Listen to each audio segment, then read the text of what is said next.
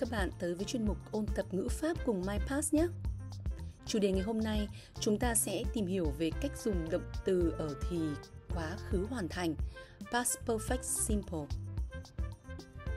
Trong bài giảng này, chúng ta sẽ cùng nhau tìm hiểu các nội dung sau đây. Trước hết sẽ là cách dùng. Sau đó là công thức để hình thành thì quá khứ hoàn thành. Tiếp theo, chúng ta sẽ cùng nhau tìm hiểu những dấu hiệu nhận biết trong câu có những từ nào để quyết định thì quá khứ hoàn thành. Và cuối cùng, chúng ta sẽ cùng nhau luyện tập nhé. Trước hết, chúng ta cùng nhau tìm hiểu về cách sử dụng của thì quá khứ hoàn thành. Có thể nói thì quá khứ hoàn thành là một trong những thì động từ dễ nhất trong tiếng Anh các bạn ạ. Dễ từ công thức cho đến cách dùng. Nếu như với các thì động từ khác chúng ta sẽ phải có 3 4 cách dùng để nhớ thì với thì quá khứ hoàn thành, chúng ta chỉ cần nhớ một cái thì cơ bản nhất, đó là diễn tả một hành động xảy ra trước một thời điểm hoặc một hành động khác trong quá khứ. Rất nhiều bạn thường nói với cô rằng đây gọi là quá khứ của quá khứ. Ví dụ, by the time i woke up this morning, my mother had left my house. Trong trường hợp này, chúng ta thấy có hai thì động từ. Đầu tiên, đó là thì quá khứ đơn đối với động từ woke up và thì quá khứ hoàn thành đối với động từ had left. Chúng ta sẽ cùng nhau tìm hiểu nhé. Đây là trục thời gian và ví dụ như bây giờ là 9 giờ ở thời điểm hiện tại thì lúc 7 giờ sáng tôi đã dậy rồi. Đó là một hành động trong quá khứ. Thế nhưng lúc 6 giờ cũng là một hành động khác trong quá khứ nhưng lại xảy ra trước hành động tôi thức dậy. Bởi vậy, hành động mẹ tôi rời nhà đi là hành động ta sẽ cần chia ở thì quá khứ hoàn thành. Bởi vì nó sẽ xảy ra trước hành động tôi thức dậy vào buổi sáng. Và cả hai thì này đều ở thì quá khứ thôi. Sau đây chúng ta sẽ cùng nhau tìm hiểu thì quá khứ hoàn thành với các công thức nhé. Công thức của thì quá khứ hoàn thành có một công thức chung đó là had cộng với quá khứ phân từ 2 ta lấy ví dụ như là the train had gone. Thì ở đây, chúng ta nhìn thấy chữ màu xanh là had, hoặc I had had lunch, hoặc he had been a waiter. Thì ở đây những cái chữ had màu xanh đó chính là trợ động từ. Còn các từ màu đỏ đó là các động từ ở thì quá khứ phân từ 2 sau đây chúng ta sẽ cùng nhau tìm hiểu về công thức nhé ở thì quá khứ hoàn thành ở thể khẳng định affirmative form thì chúng ta sẽ có công thức như sau. Đầu tiên sẽ vẫn luôn là chủ ngữ, rồi cộng đến trợ động từ trong trường hợp ở thì quá khứ hoàn thành sẽ luôn luôn là had và cộng với quá khứ phân từ 2. Cô lấy ví dụ trong trường hợp này sẽ là I had traveled.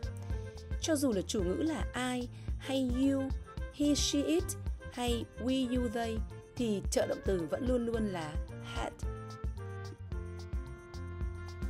Đối với thể phủ định thì chúng ta vẫn có công thức là chủ ngữ cộng với trợ động từ had. Và ở thể phủ định thì chúng ta sẽ luôn luôn có chữ not. Sau đấy chúng ta cộng với cả động từ quá khứ phân từ hai. Và cho dù gọi là ngôi I, you, he, she, it là số ít hay we, you, they là số nhiều thì trợ động từ vẫn luôn luôn là had. Ở đây chúng ta có thể viết tắt had not thành hadn't. Đối với thể câu hỏi hoặc là thể nghi vấn thì chúng ta sẽ cần phải đào trợ động từ lên trước, sau đó cộng với chủ ngữ và cộng với động từ quá khứ phân từ 2. Và tương tự như vậy, ở các ngôi you, he, she, it, we, you, they thì trợ động từ vẫn luôn là had. Tóm lại, chúng ta sẽ cùng nhau tìm hiểu về công thức một cách tổng quát đối với thể khẳng định chủ ngữ cộng với had cộng với động từ quá khứ phân từ 2, sau đó cộng với tân ngữ. Thể phủ định cũng vẫn gồm có chủ ngữ cộng với trợ động từ ở phủ định là hadden cộng với động từ quá khứ phân từ 2 và tân ngữ. Đối với thể nghi vấn hay còn gọi là thể câu hỏi thì chúng ta lại đào trợ động từ had lên trước chủ ngữ cộng với chủ ngữ cộng với động từ quá khứ phân từ hai và tân ngữ. Và nếu với các câu hỏi có từ để hỏi như là WH hay là had thì chúng ta sẽ chuyển WH lên trước.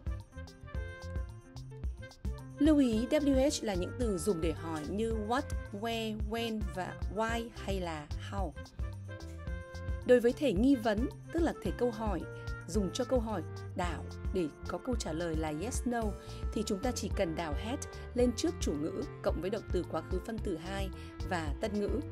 Sau đó chúng ta trả lời là yes cộng với chủ ngữ cộng head hoặc no cộng với chủ ngữ cộng head not hay viết tắt là hadn't. Tiếp theo, chúng ta sẽ cùng nhau tìm hiểu về dấu hiệu nhận biết. Dấu hiệu nhận biết đó là những cái từ mà trong đó khi nhận trong một câu khi ta thấy cái từ này thì chúng ta sẽ chia động từ ở thì quá khứ hoàn thành. Ví dụ, trong một câu ghép có hai mệnh đề mà đầu mệnh đề đầu tiên có từ after hay as soon as thì cái mệnh đề tiếp ngay đằng sau đấy các đằng sau các cái từ này chúng ta sẽ chia quá khứ hoàn thành. Còn cái mệnh đề sau đó chúng ta sẽ chia quá khứ đơn.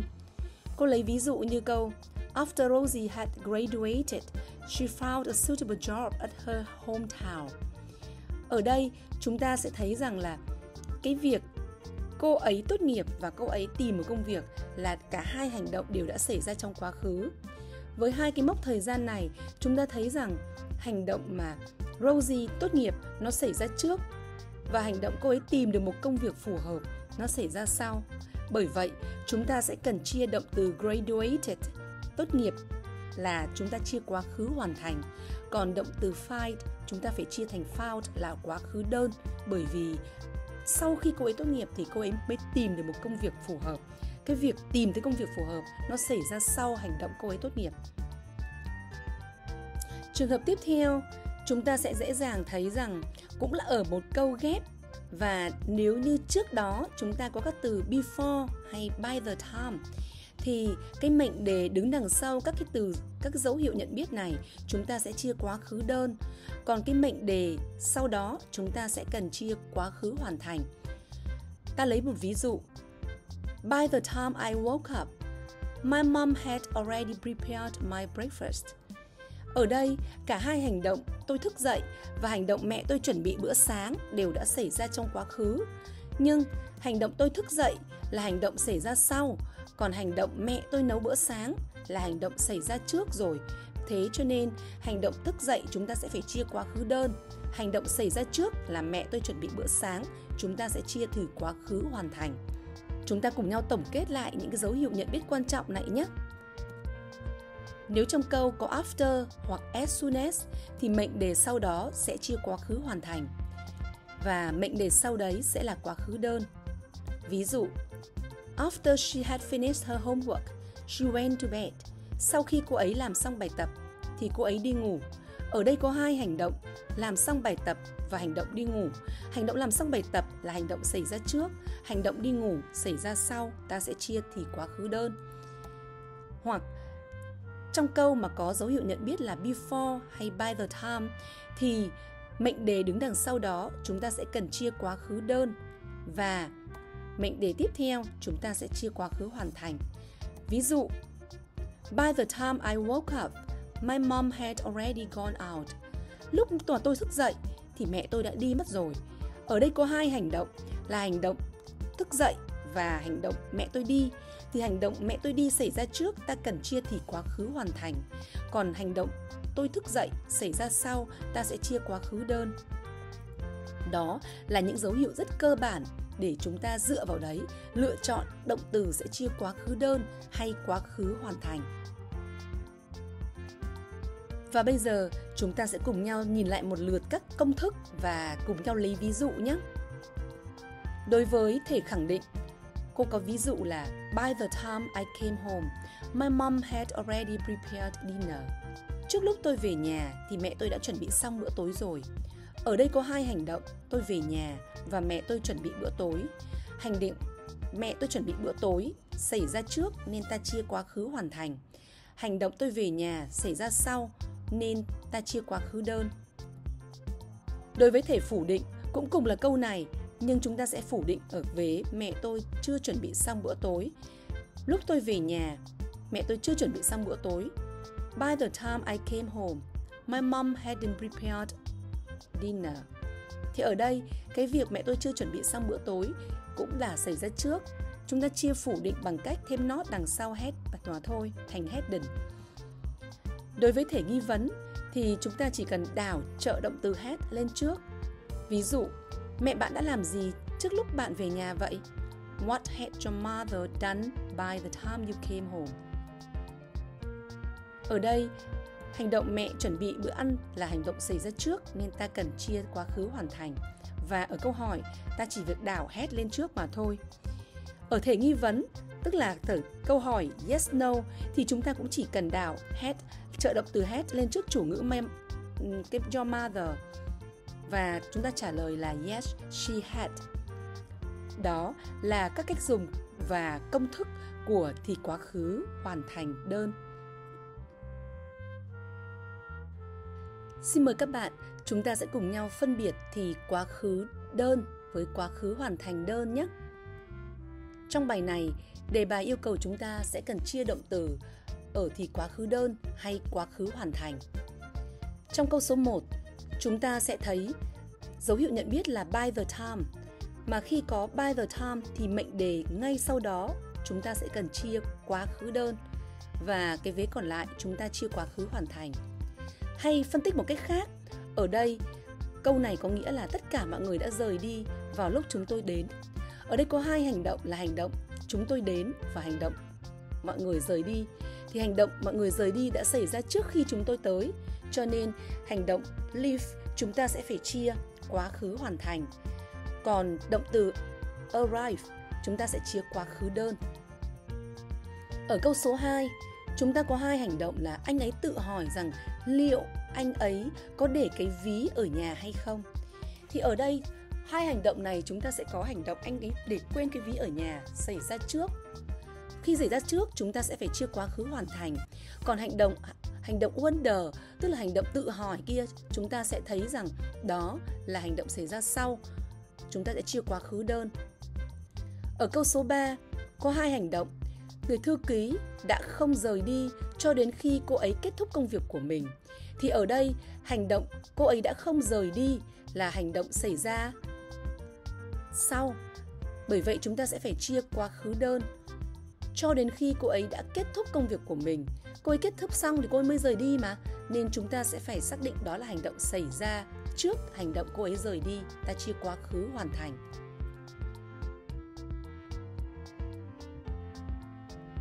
Ở câu số 4, có hai hành động. Giáo viên hỏi cậu bé, tại sao anh ấy không làm bài tập về nhà? Thì ở đây có hành động cậu bé này không làm bài tập về nhà sẽ xảy ra trước, còn hành động giáo viên hỏi cậu học sinh này là hành động xảy ra sau nên chúng ta dùng quá khứ đơn. Cậu bé không làm bài tập về nhà xảy ra trước thì chúng ta sẽ chia quá khứ hoàn thành. Ở câu số 5, uh, à, Frank Sinatra đã bị cúm bởi vì cậu ấy đã đứng hát dưới mưa. Thì ở đây có hai hành động. Cái nguyên nhân chính là cậu ấy hát dưới mưa, cho nên đó là hành động xảy ra trước tạo ra cái kết quả đó là cậu ấy bị bị dính cúm. Thì caught chúng ta sẽ chia quá khứ đơn. Còn sinh kia là hành động xảy ra trước là nguyên nhân của hành động caught the flu nên chúng ta phải chia quá khứ hoàn thành. Trong câu số 6 bao nhiêu cuốn sách cô ấy đã, đã đọc trước khi cô ấy tới London? Thì ở đây cái hành động đọc sách là hành động xảy ra trước. Cái vế có cái chữ before chúng ta sẽ xác định rằng nó sẽ phải chia thì quá khứ đơn hay là quá khứ hoàn thành ạ. Ở đây chúng ta sẽ thấy rằng là cái hành động cô ấy đọc sách xảy ra trước còn hành động cô ấy tới London xảy ra sau. Đứng đằng sau before chúng ta sẽ chia quá khứ đơn.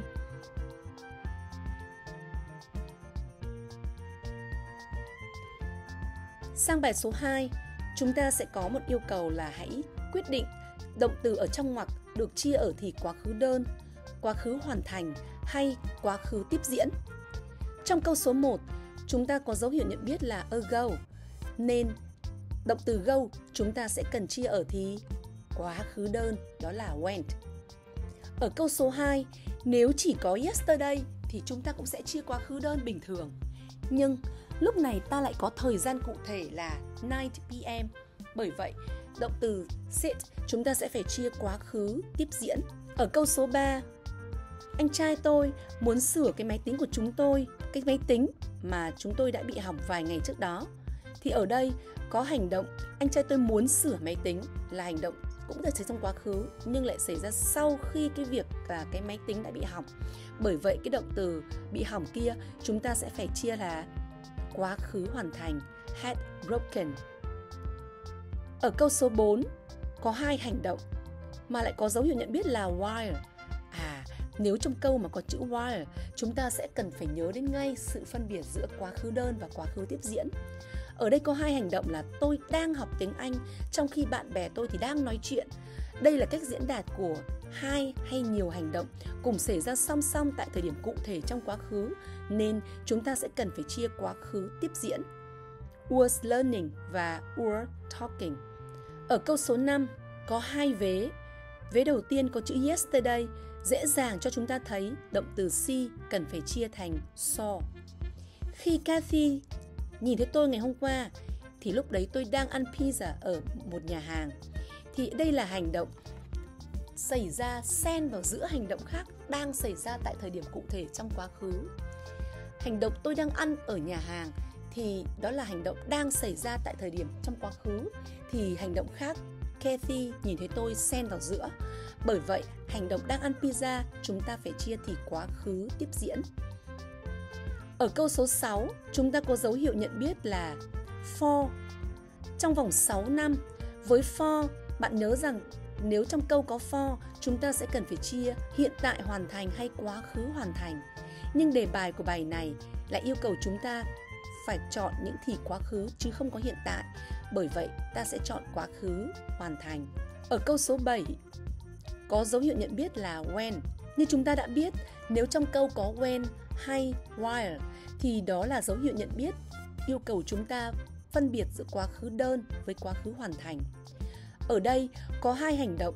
Hành động bạn bè tôi và tôi làm bài tập của chúng tôi và hành động ai đó gõ cửa thì hành động bạn bè của tôi và tôi đang làm bài tập là hành động xảy ra dài hơn, thì có hành động ai đó gõ cửa xen vào giữa. Vậy hành động đang làm bài tập, chúng ta sẽ phải chia thì quá khứ tiếp diễn. Còn hành động ai đó gõ cửa, chúng ta sẽ chia quá khứ đơn. Và câu cuối cùng là một câu rất dễ. Có dấu hiệu nhận biết là last night, thì động từ dream, chúng ta sẽ phải chia quá khứ đơn thôi, dreamt. Như vậy chúng ta đã vừa tìm hiểu các cách dùng của thì quá khứ hoàn thành so với các thì quá khứ trong tiếng Anh. Cảm ơn các bạn đã theo dõi và hẹn gặp lại trong các chủ đề tiếp theo của MyPass nhé.